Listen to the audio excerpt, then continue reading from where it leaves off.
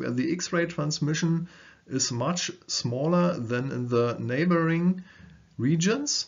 We have here a particular high concentration of ingredients interacting with X-ray and the sample appears by naked eye inhomogeneous and we can have this information in instrumental detection by X-ray. How can we quantify this? We can make use of the standard deviation of the mean values of the X-ray transmission, the integral X-ray transmission.